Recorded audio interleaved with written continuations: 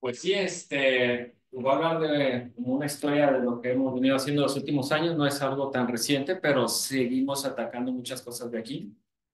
Y el tema anillo, remanentes de moribunda, pues tiene que ver con estos remanentes que va dejando las estrellas que están en las etapas finales de su vida y van desprendiendo unas capas, ¿no?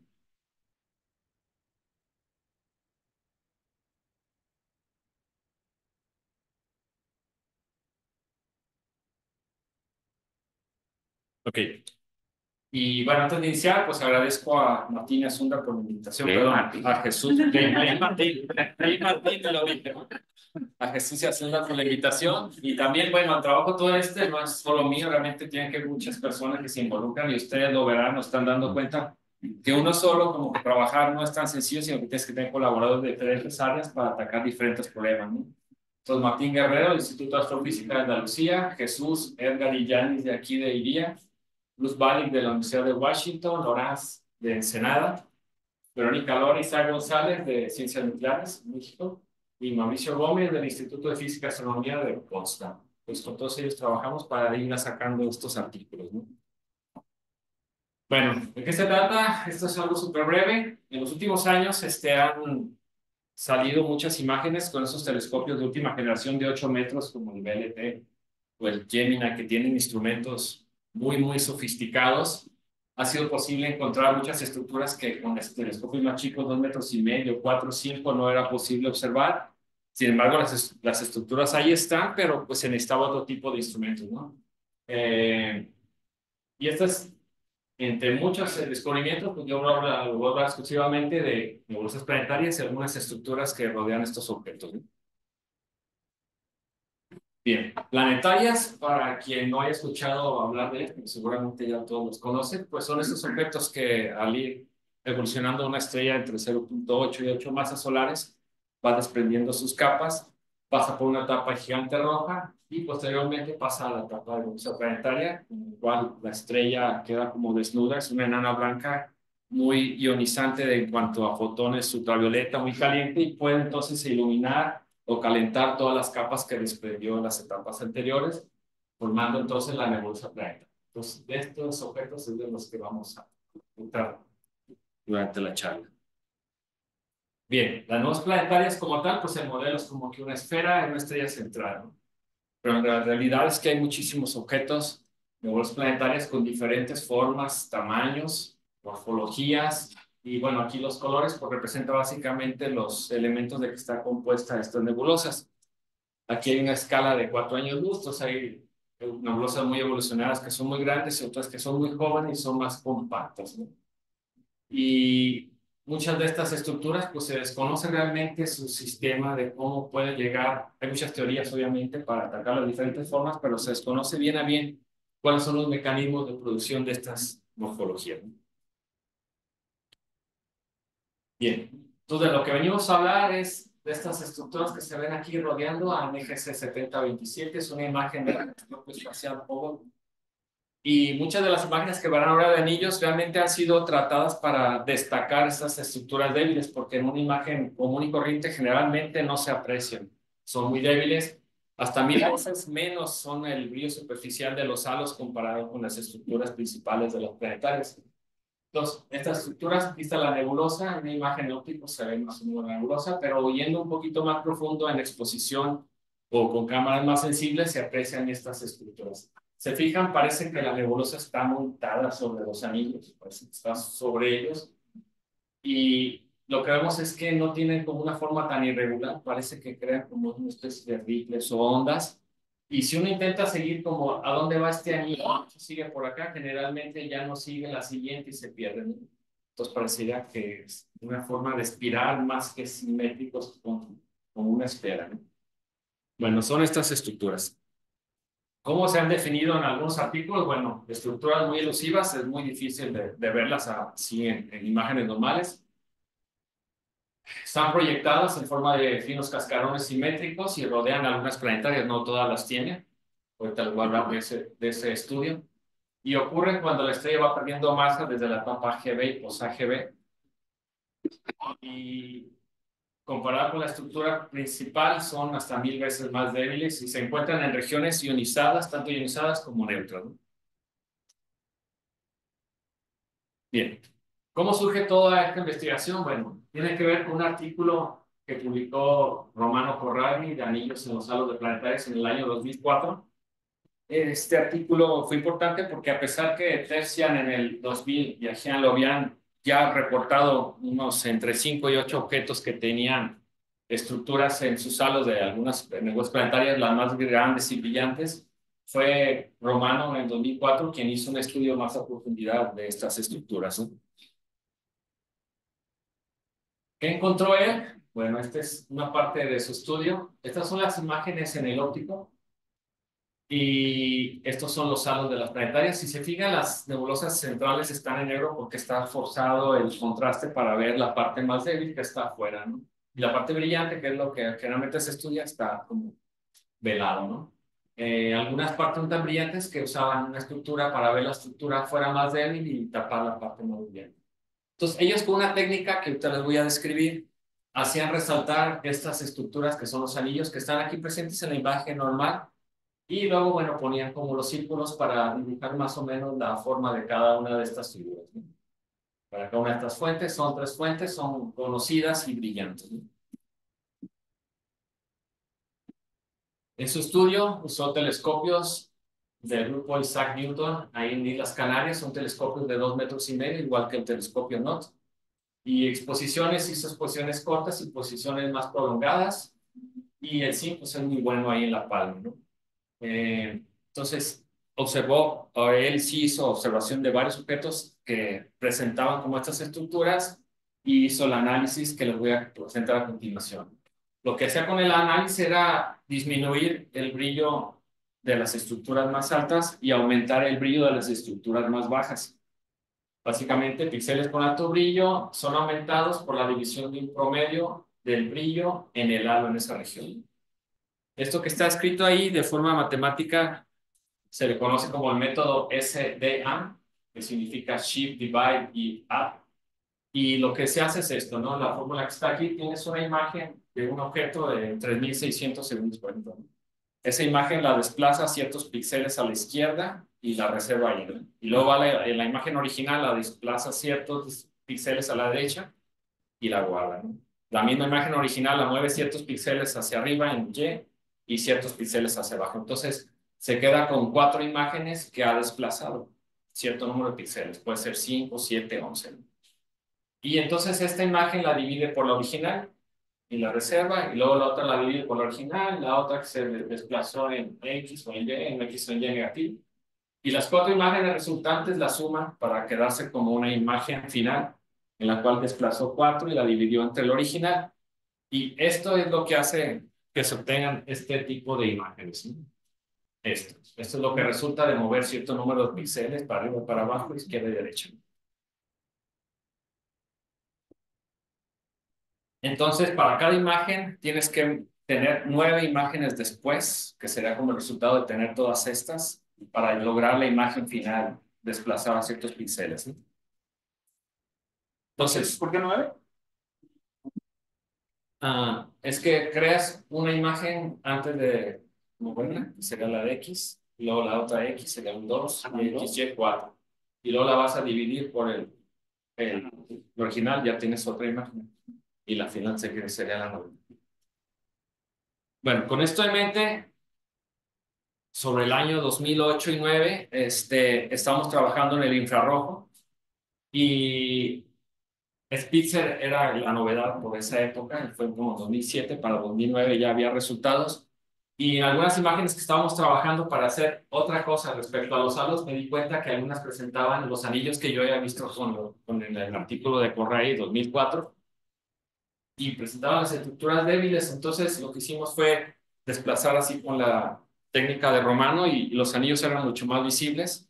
Y lo que estudiamos ahí era ver si estas estructuras infrarrojas estaban por encima o por debajo o a la misma distancia de los anillos que se veían en el óptico. El resultado fue que estaban a la misma distancia, estaban a la, a la misma, digamos, altura. Y había tres fuentes de estas, de estas investigaciones. Hicieron dos artículos en 2009. las fechas es por explicarles algo después. Entonces, en 2009 salió un artículo de 3242 y 7354 y para 2011 el DNC 40. También en el infrarrojo, un año después, en el 2012, teníamos imágenes de IC418 que habíamos observado en el Observatorio Astronómico Nacional con la cámara infrarroja Camila en las bandas J, H y K, y habíamos visto que había un halo alrededor del objeto. Ese halo teníamos no la certeza de que sea un halo que pertenecía a IC418, ni se quedaron algunos años ahí las observaciones hasta que salieron los datos de WISE en 2012. Esta es una imagen de WISE de IC418 y vimos que el halo sí se representaba que estaba aquí e incluso que tenía un halo más externo afuera del Entonces decidimos que se iba a publicar porque este halo era verdadero. Y al hacerlo, utilizamos una imagen del HST de IC418 para hacer una imagen compuesta y rellenar el centro de la imagen que era velada en las imágenes infrarrojas. Al estar haciendo eso, me di, me di cuenta que había un halo rodeando IC418 que no se había reportado antes. Y como habíamos un año antes hecho lo de la técnica de Romano para lo de infrarrojo, lo hicimos para el óptico y nos dimos cuenta que sí, que había un par de anillos por lo menos que se veían en ese 418. Entonces, con el resultado de ya hicimos un, un artículo reportando los anillos y el halo externo. Entonces, se fijan, es el año 2012. Entonces, un año después se me ocurre que por qué no hacer una búsqueda de la base de datos del telescopio espacial, de todas las fuentes de nebulosas planetarias en las que hubiera datos disponibles, también de Spitzer, y descargarlo y hacerle una técnica a todas las planetarias para ver cuántos había halos que no se habían reportado o no se habían visto. Entonces, descargamos, había 600, 655 objetos disponibles con datos de HST o Spitzer. Eran muy pocos de Spitzer, la mayoría más de 600 del HST. Y el HST tiene muchos instrumentos y cámaras, ¿no? Entre ellas la ACS y había estos filtros disponibles, la WFC3, la Planetary Cámara 2 con todos estos filtros y la NICMO 3 en el infrarrojo cercano. Y lo que no sabíamos era dónde eran más visibles los anillos que se que pudiera ver, ¿no? Si en el óptico o en filtros angostos o en filtros anchos.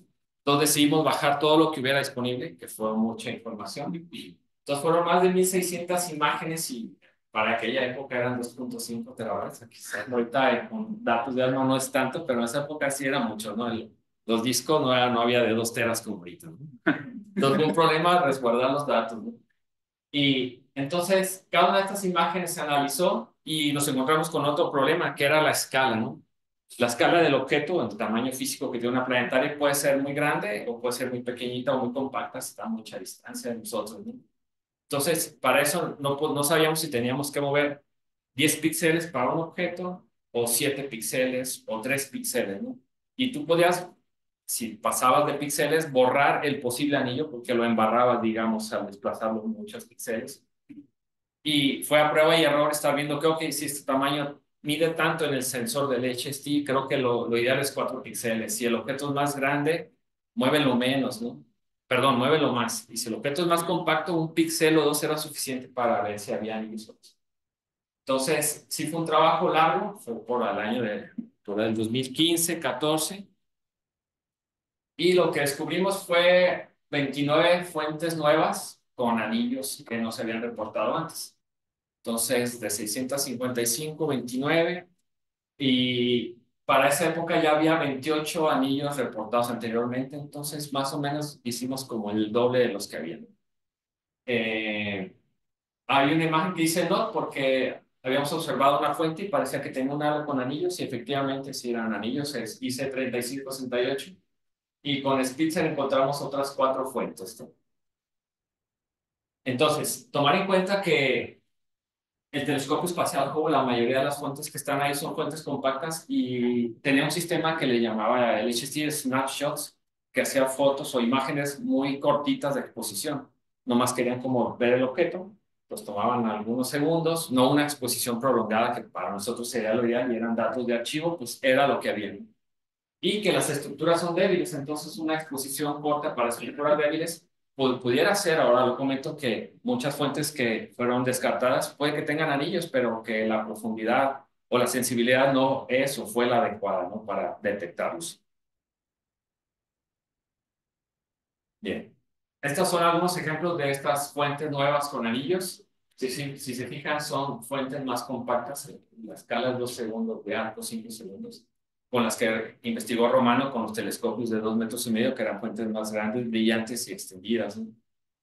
Y cuando había más de dos filtros disponibles de, para el objeto en el HST, hacíamos imágenes en color, pues para hacer una representación más, pues más visual, ¿no? Entonces aquí están dos puentes.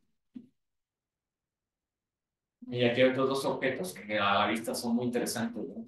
Esta estructura un poco más simétrica, y este sí parece como una espiral, que el MP1059 y 1058, y son muy pequeñitos, ¿no? Los segundos de arco. Bien. Y pues otra, últimos dos ejemplos, los bipolares, es 6572. En la estructura estos anillos son muy, muy finitos.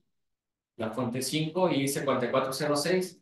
Aquí a duras penas se veía como un, como un solo anillo, ¿no? Se ve aquí, quizás aquí otro débil, pero la fuente más grande, 20 segundos de quizás un poco por abajo.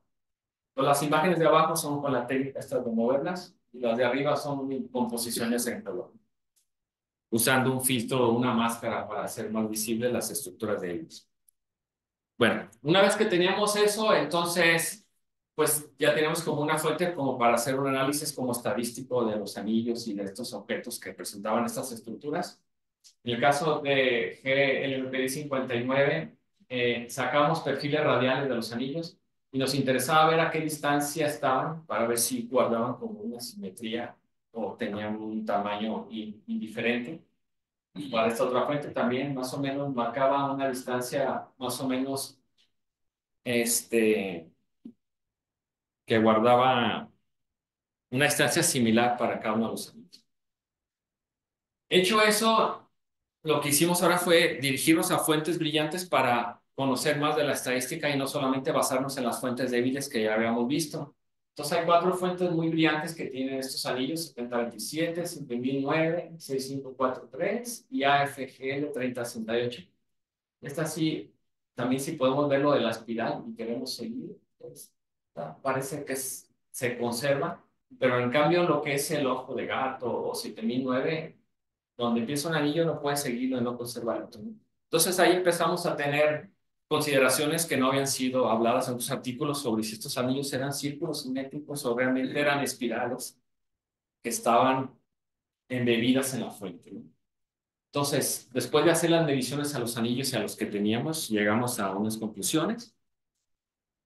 Una es que el, era que el lapso promedio entre las elecciones para la formación debería estar entre 500 y 1900 años para una velocidad que habíamos puesto de 15 kilómetros por segundo. Y la otra es que el espaciado de anillos es constante para cada puente. Y esto podría sugerir que el mecanismo para la formación de estas estructuras es en cierta forma estable, del orden de aproximadamente 4.500 años. Bien. Después de hacer esas suposiciones y análisis, nos concentramos otra vez en esta fuente porque vimos otra cosa que había pasado desapercibida. Esta es, yo creo que la nebulosa planetaria que tiene los anillos mejor visibles y que se puede trabajar de cierta manera y existen muchos filtros. Es NG6543 en el óptico y pues pueden ver que su estructura es bipolar y tiene los como chorros que salen a los lados y que están como tocando a los anillos, ¿no? ¿Cuál es la estructura? Bueno, los anillos, hay un halo, esta fuente es un halo súper grande que abarcaría toda la pantalla, todo el cuarto, está muy grande el halo. Y esta es la parte como más central de la planetaria, que tiene los anillos y dos chorros y sus capas. Bien, haciendo un zoom a estas zonas que están aquí, que son los dos chorros que salen de 6543, eh, nos damos cuenta que el jet o chorro colimado está interactuando con las secciones que se ven de los anillos. Entonces, por ejemplo, aquí hay una primera sección y se ve que se empieza a levantar la fuente. Aquí hay otro, una especie de bow show que se está creando a chocar, al parecer, con esta sección de los anillos. Y por el otro lado, igual, este está como uno de los anillos, está otro, y se empieza a levantar como una burbuja. Y luego otro por aquí y otro por aquí. Eso es como tres enlaces que están cruzando los anillos que están pasando por ahí. Una pregunta. ¿Se conoce la inclinación de este ¿Se conoce? La inclinación. Ah, la inclinación. Sí se conoce, pero no tengo el dato. Lo que tengo es que están, sé que, sé que están inclinados y que están, ahorita voy a ir una transparencia más adelante, pero no puse la inclinación. Pero sí, este, Miranda y Sol fue que midieron la inclinación del jet. Porque si no es 90 grados, ¿no? En el plano cielo, entonces es difícil entender por qué está Tiene esta estructura. Ahorita la transparencia sí creo que viene desde el comento. Bueno, para concluir nada más esta transparencia, eh, la fuente, si se fijan, tiene muchos rayos. Aquí no está tan clara la imagen. Y van interactuando también con los anillos, esta especie de rayos que salen de aquí. Y aquí lo marcamos uno que es muy brillante. Ahora sí, con lo que sea... Pero sí están fuera del, del plano. Sea, uno es rojo y uno es azul. Los chorros en 5.3 no están contenidos en el plano. Miranda y Sol 92. Esto lo puse porque confirma que los anillos incompletos en realidad son proyección de estructuras tridimensionales.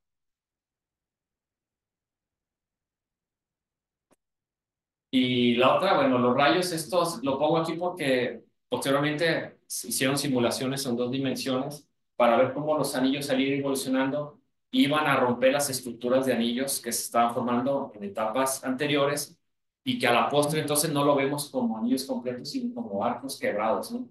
Eh, estos arcos, bueno, realmente cuando los anillos cruzan la nebulosa, muchas veces son tapados por grumos que están entre, entre el objeto y atrapan el flujo V, pero los que salen sí terminan por romper a, a la nebulosa los anillos, ¿no? Bien. Entonces, otro trabajo que se hizo ya con Jesús fue, fueron las simulaciones dos dimensionales. Esto es para una densidad y una velocidad de 6.000 años y estas realmente muestran que los grumos atrapan el flujo ionizante y que las estructuras formadas al final se van dividiendo en arcos en lugar de borrarlos por completo.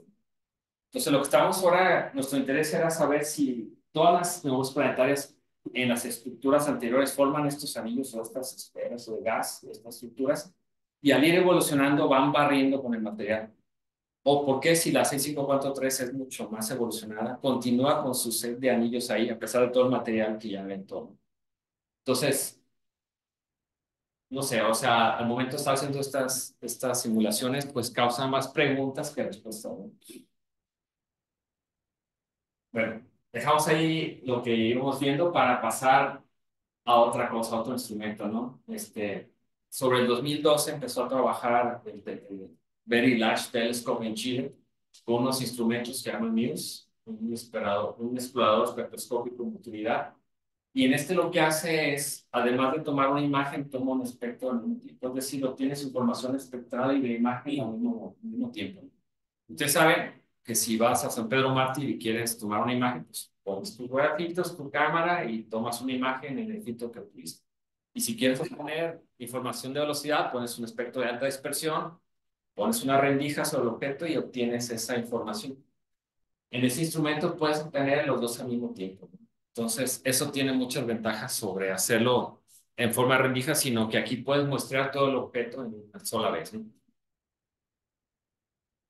Para 2017, el telescopio saca una imagen de ciencia, pero que la pone en red para que cualquiera pueda ver, como para dar publicidad al telescopio, ¿no? Y es una imagen de IC 4406, uno de los objetos que habíamos visto que tenía un anillito. Esta imagen es del 2017 y ellos hacen una combinación de estos filtros. Estos filtros realmente pues, lo que hacen es extraerlo del cubo de datos, las regiones que ellos quieren y combinarlas para hacer una imagen en color. Pero pues esta información en cada filtro también te da la información espectral. ¿no? Entonces, le comenté a Jesús y a Martín que si teníamos estos datos y se veían los anillos, podíamos obtener propiedades físicas de los anillos y no solamente de la fuente central que ya había sido estudiada. Entonces, esta imagen es del BLT, el telescopio YEPUN, utiliza MUS y también este telescopio tiene óptica adaptativa.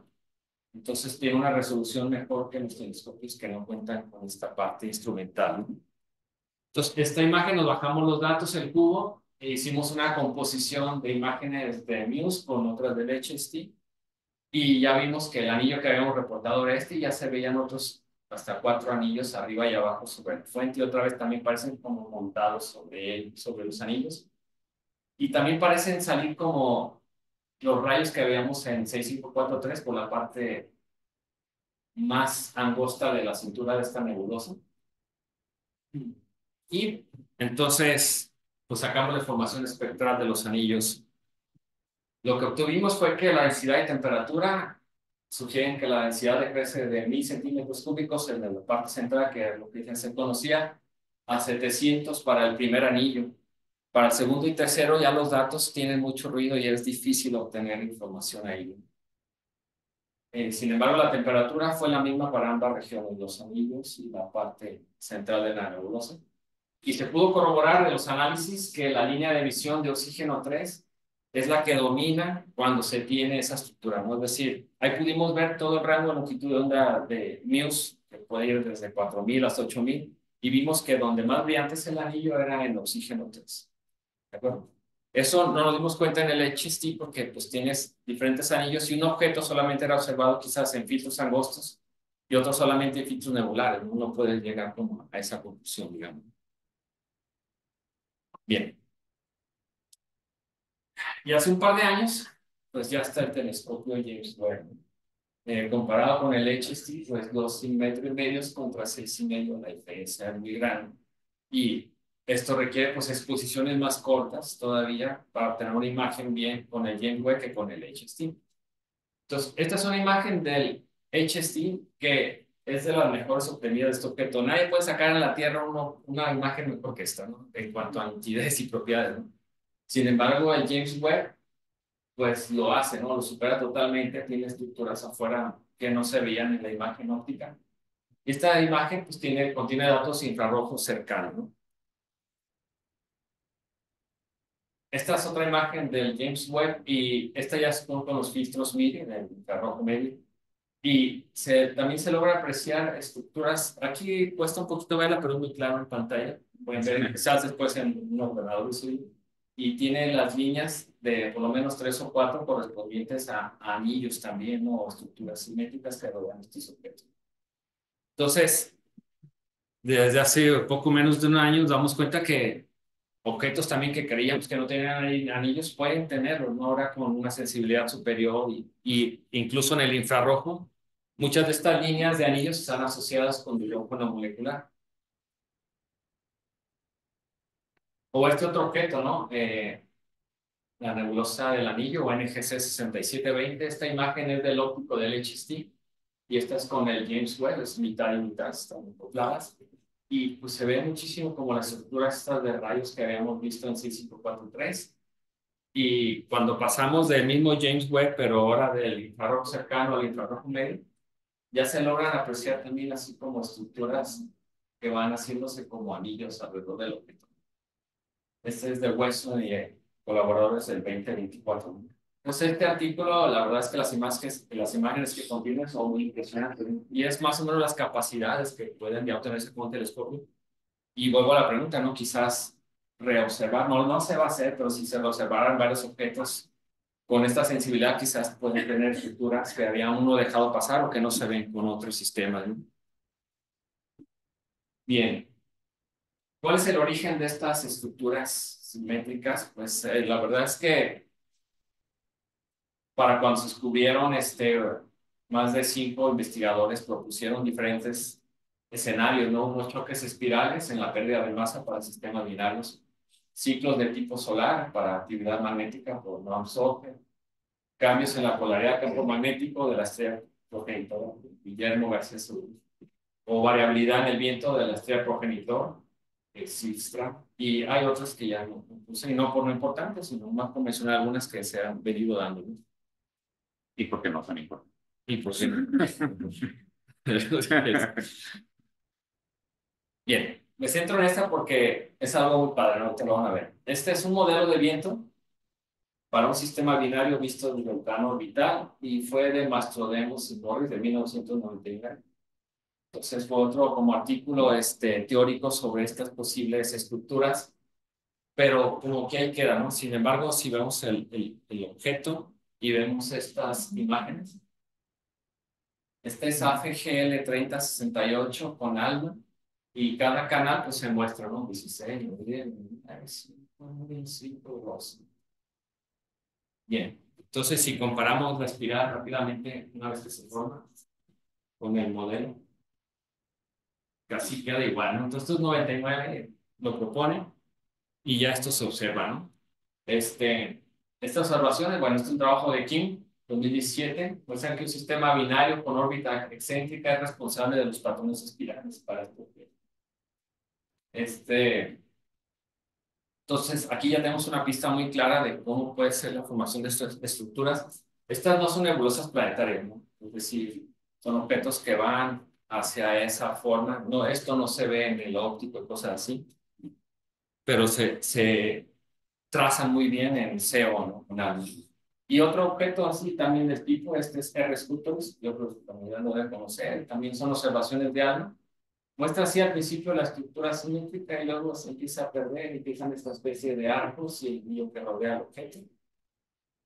Este, esta es una simulación de la evolución del material alrededor de esta estrella. Fue hecha por Mohamed en 2012 para una evolución en 2000 años.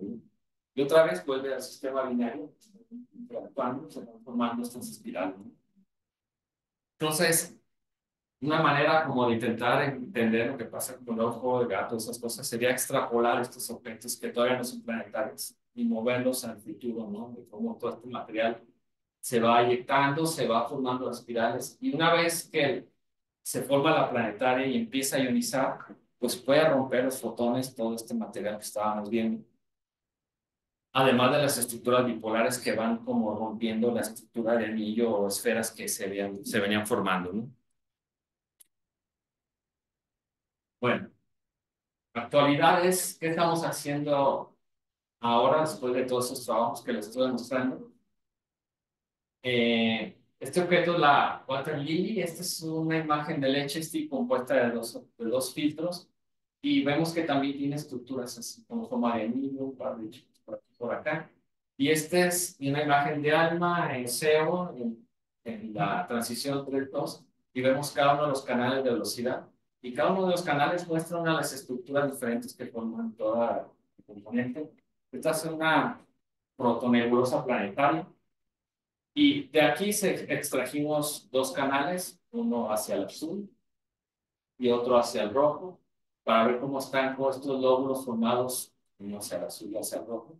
Sin embargo, cuenta con tres o cuatro barcitos y uno es el que es muy brillante que traza por aquí y otro que está como por alrededor de la entonces, actualmente pues estamos desarrollando este trabajo con Jesús,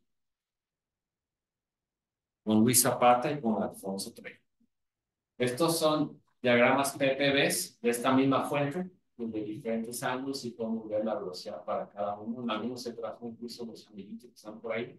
Es el mismo este, transición de cero con algo. Y bueno, aquí pongo Luis Zapata porque están dentro para este trabajo último que estamos haciendo. Y esta es una, el cubo se extrae, se crean los canales y se puede modelar como si fuese un tridimensional, que seguramente ya lo habrán visto, esto lo hace Edgar. Y esta es la parte actual de la que estamos haciendo. Incluso ellos ya fueron un poco más allá y sé que están extrayendo datos de ARMA cubos para hacer estas simulaciones 3D y este es otro objeto que tiene unos anillos muy, muy, muy marcados, RM2688. Y están haciendo, creo una especie de catálogo con todos los datos que hay con ALMA para ver estas estructuras de nebulosas, protonebulosas planetarias. Bien, pues resumen de todo lo que les pasé es, encontramos 29 nuevas fuentes y duplicamos las que había hasta el momento. Dado que la frecuencia de ocurrencia de anillos es baja, indica que solo una pequeña fracción de estrellas progenitoras puede dar pie a estas estructuras, o bien que desaparecen a medida que la evolución nebular se da y la medida de la expansión rompe las estructuras que estaban en un inicio, ¿no? El tiempo y periodicidad de las estructuras apuntan a mecanismos de formación estable, un periodo de tiempo de miles de años. Posiblemente son debidas todas a la evolución de sistemas binarios, por lo menos los sistemas espirales. Y concluir que el nombre anillos puede ser engañoso porque estas estructuras parecen como tales como anillos al proyectarse en el cielo, pero son más como unos cascarones esféricos que rodean a las fuentes. Bien, entonces, toda la información que les acabo de dar viene una serie de artículos del 2016, fue el primero donde se muestran los 28, 29 nuevos objetos. Aquí el análisis hecho a cuatro objetos importantes donde pudimos determinar algunos parámetros de distancia y eso. Para 2022 fue las propiedades físicas de los anillos de IC 4406 y el último fue la modelación de, de patrones espirales 3D de Verónica y colaboradores y hasta la actual que es lo del water lily que está pendiente. ¿no? Y es todo, muchas gracias.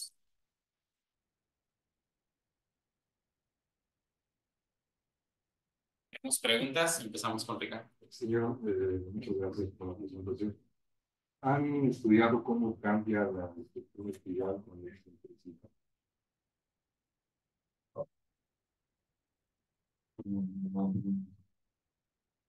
No sé si se hizo en los modelos 3D con Ver.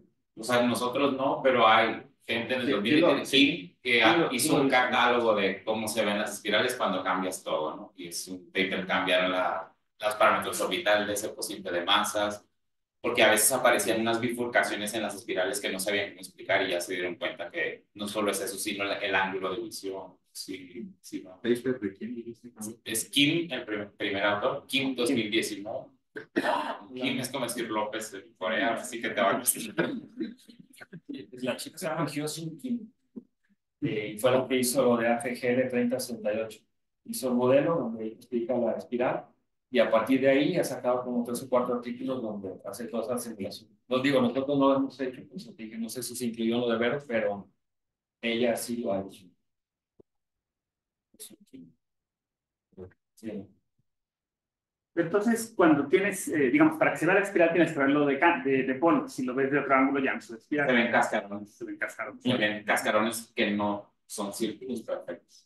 No es tan fácil intuirlo, ¿no? Es decir, tú lo ves y dices, es tan fácil, realmente está inteligente. Oye, y no sé si lo dijiste así rápido y no lo capté, pero es los rayitos que son. Ah, son fotones que están saliendo de la estrella, pero muchos este, se detienen por grumos y crea como... De hecho, alcanzan a pasar. Exacto, el mismo ejemplo es cuando a veces se pone el sol y salen, están pasando por algún Pero no es una estructura física, digamos, propiamente. Ah, no pero sí llegan a interrumpir. De hecho, se ve ¿no? que se barre el material en cada anillo. ¿Por presión de radiación? Sí. Tengo una pregunta relacionada con, ¿y qué significado tiene que se vean más intensos en el plano infrarrojo? Esos rayos. Ah, más, más, que los rayos, bueno, seguramente es porque tienen, en el, cuando digo escala infrarrojo, generalmente observan en filtros específicos, en el no lo dije, pero del que yo hablé, ah, del que yo hablé es de hidrógeno molecular.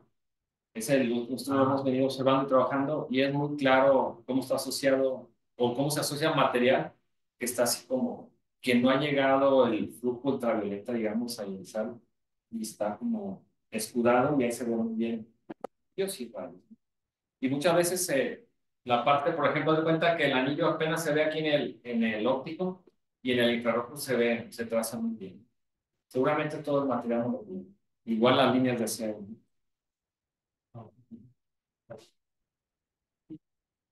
Este, una pregunta. Eh, ¿Por qué no pueden ser también como remanentes de los pulsos térmicos de la estrella en base a que ven estos anillos?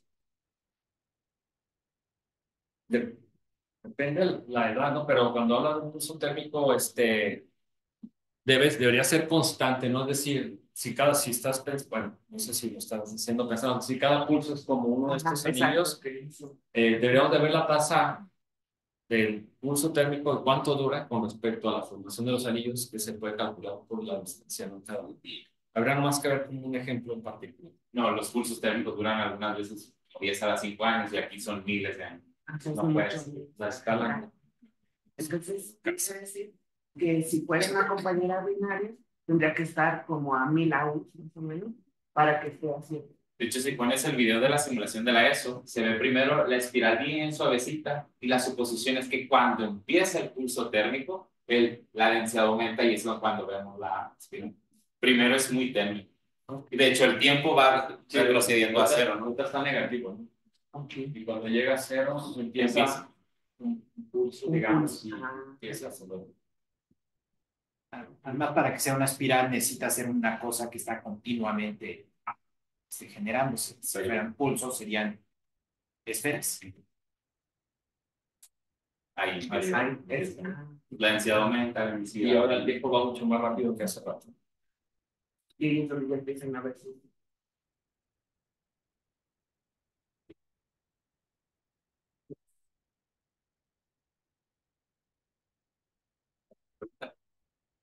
Mencionaste que bueno, inicialmente estudiaste como 600 imágenes del HDR, ¿no? Entonces, aproximadamente contraste con un 10% de estructuras que presentan anillos. Entonces, eh, si usaras las, el, nuevo telescopio que este creo que es el, el, ajá, el que se ve como detalle, mencionaste que si ves como fuentes eh, que ya se conocen con ese telescopio, ¿a cuán, qué, qué porcentaje de, de anillos crees que aumentaría no. o que encontraría? Sí. No, no, no lo sé, no te puedo decir algún número, pero es una suposición que después de analizar los datos te imaginas que si tienes mayor capacidad de sensibilidad o que puedes observar en infrarrojo pudieras encontrar nuevas estructuras. Depende mucho casi del objeto, ¿no? Pero si no... Y también depende mucho de, de, cómo lo ves, y si lo ves como de, de canto o en el plano, que tengan esas las estructuras de video?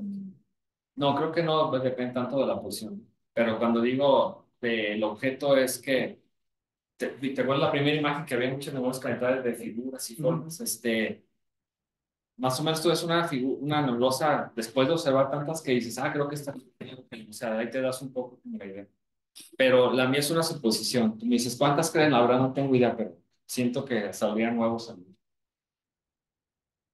Sí, uh, hay una relación entre la presencia de, de estos estructuras de anillos y el tipo, ¿no? tipo de Pembert, el, la masa de la estrella, no, la población no, no, estelar.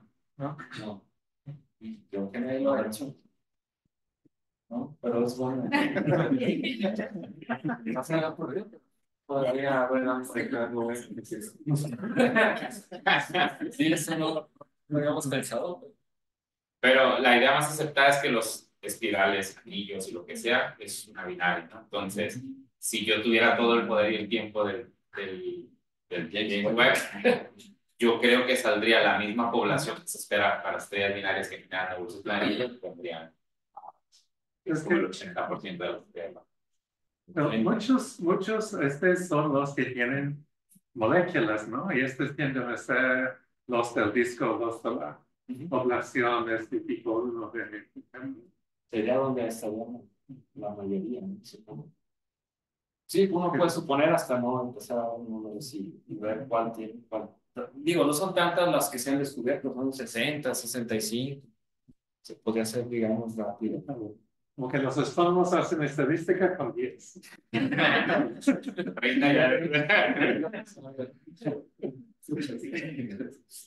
sí en una esa que tiene estructura espiral, mostrarían como gradiente de velocidad, pero mm, pues, explicaste esto, creo que no. O sea, mostrabas cómo empezabas a moverte en velocidad, aparecía un punto, aparecía la espiral. Ah, sí, sí. Ah, Quiere decir que es como un barril o qué. Esta es una, ¿no? A ver. Sí, bueno, para acá extraes, bueno, esto lo hizo, ¿tú lo hiciste o fue? Sí, pues te me imagino un canal para cada velocidad, ¿no? Y lo vas poniendo y hacemos un, un, un, de imagen, Con la de Yo creo que se ve mejor en la otra. La de blanco y negro. Claro, es que uno ve la espiral, ¿Esta? pero, ajá, pero realmente es una estrella que ve perdiendo más, la compañera está modulando, entonces no es una espiral, es una cosa en tres dimensiones, que cuando uno lo ve desde arriba del plano se ve la espiral pero cuando empiezas a rotar, por ejemplo, de canto, se van a ver como cascarones. Esto solo es la proyección casualmente. Y de hecho, Se bifurcan en algún momento, si se, se bifurcan algunos anillos por aquí, si lo ven. Ah, en donde eso, con eso te ayuda a calcular cuál es la inclinación del plano orbital. Sería como un barril así medio. Ah. ¿no? Porque tiene velocidad viniendo al plano. Para la siguiente charla te traes diferentes ángulos. No, no, eso ya le va a tocar a él, porque es lo de, lo de Water Lily. De hecho, este es la doctora, ¿no? Kim. Este es un artículo de Nature. Fue el primero de Nature Astronomy. De hecho, se ve la estructura en 3D cuando la pones como un barrilito. Fíjate. ¿Está? No, no, más adelante la que hizo este estudiante de Eso. ¿Dónde? Como O sea, esta es la espiral más brillante y ese es plano del la misma. Entonces, cuando se ve la espiral es que estamos viendo el plano del cielo, entonces hay más densidad. Y en particular, esta es una protonebulosa planetaria que ya está la espiral así en el cielo y están saliendo dos, dos uh, inyecciones bipolares. No, no es tan fácil verlo. No es tan fácil verlo. Pues, se supone que la, la velocidad es proporcional a la distancia. ¿Al Que sea homóloga la expansión. No lo hemos hecho. Porque era en X, Y, Z, ¿no? Entonces. Sí, eso solo es una ilustración. La Z ¿Cómo, está. ¿cómo, ¿Cómo hicieron la, en esa la particular, No hemos hecho nada, nada más está hecho así. Al, la Z está seleccionada. No, es, no era física. ¿no? Entonces podría haber sido más simétrica, más esférica. Sí, sí. Pero son dos glóbulos que en la imagen del HSP parecía, la gente decía que era un toroide, ¿no? Pero cuando uno ya lo ve en velocidad son dos eyecciones ah, por atrás. Los que hacemos las nebulosas en el óptico, pues tenemos esa falta de velocidad que los maestros han tenido por décadas.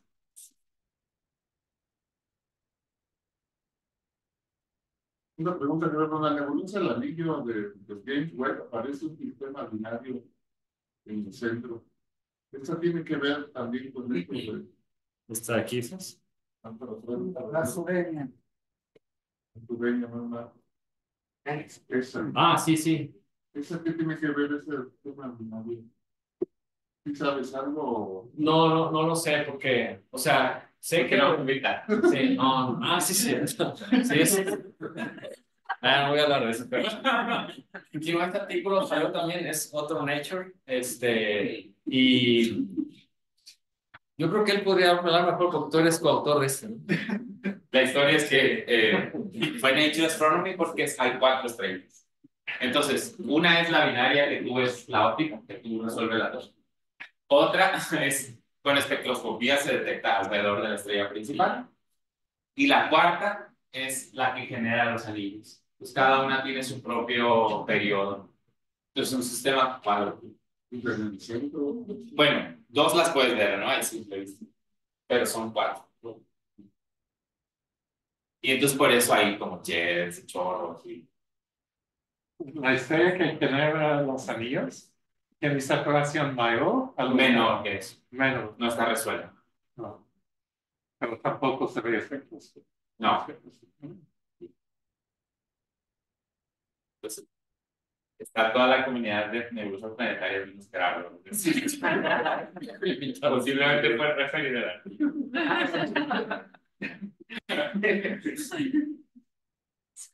Una pregunta en Zoom, uh, Daniel.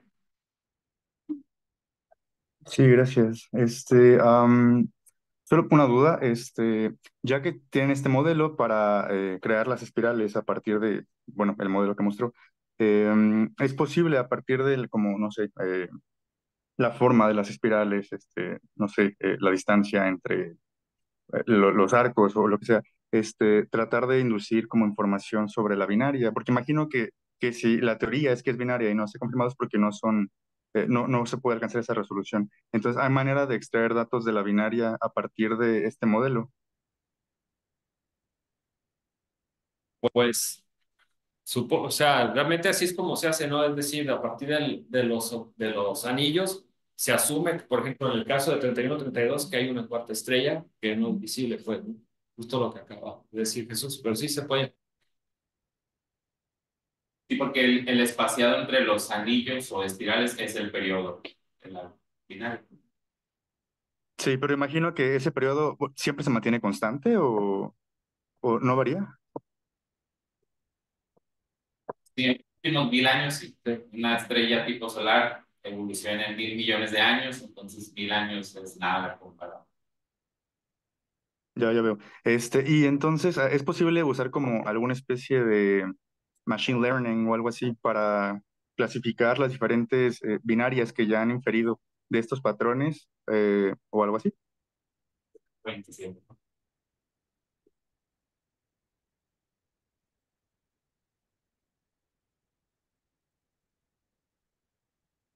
El problema es que la espiral se, iba a decir una palabra diferente, se borra muy rápidamente por la evolución de la nebulosa planetaria. Entonces, por ejemplo, en esta, ¿cómo puedes saber cuál era la espiral original? Ese es el problema. Ah, claro. Gracias. Lo, que no hicimos, pero se veían las imágenes que, por ejemplo, AFGL 3068 puede ser un circulito aquí adentro. Obviamente la escala es algo muy pequeñito comparado con esa planetaria que estas estructuras ya son mucho más evolucionadas y grandes en tamaño físico comparado con las protonebulosas, que son las que están estudiando en algo. Pero justo esas son las que tienen como el eslabón para entender esto. Bueno. ¿Otra pregunta? ¿Esto es de James Webb? No, este es de HST. La cámara 3 no. Sí, el James Webb está para Bueno, cualquiera. Una Sí. manera de ver el patrón de difracción. Eso Es es. que así cuatro, es- Ah, sí, no, Ah, la mara que estamos. Sí.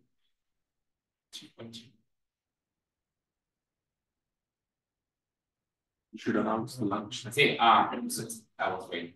A quien quiera venir a acompañarnos a comer, vamos a vernos a la 1.45 los estudiantes para ir con Gerardo a comer.